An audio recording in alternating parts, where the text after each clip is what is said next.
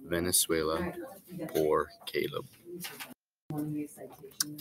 El país de América del Sur más sur es Venezuela, con el mar Caribe y el Océano Atlántico Norte, atrayendo a los turistas con su belleza, belleza cada año. Los turistas pronto describen que hay mucho más Venezuela que playas bonito, bonita y deportes acuáticos. Okay.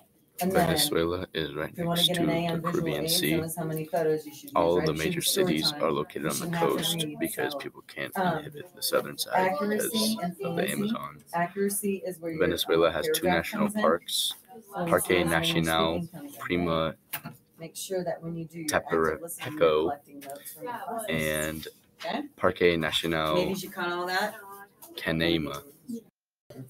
Now, some facts about what's happening in Venezuela right now. Um, Yeah, I knew their health system Um, his first novella is not the best right now.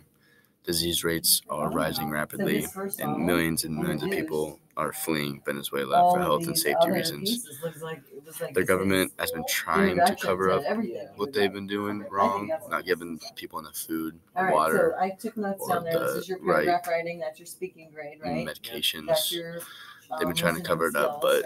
It's too well known for them to cover it up now. Ten photos. More about the environment there. Uh. People are, are not happy with the government's decisions that they're making, so there's huge revolts going on in the streets, and kids are searching through trash to get the little glimpse of leftover food that higher up people get. On January 23rd, 2019, But that's a the weird government was tired of the revolts on the street, so they threw tear gas, tear gas, and started charging the citizens with actually have one of their motorcycles. cars that has a diesel engine. They killed dozens in this raid and left hundreds in critical conditions.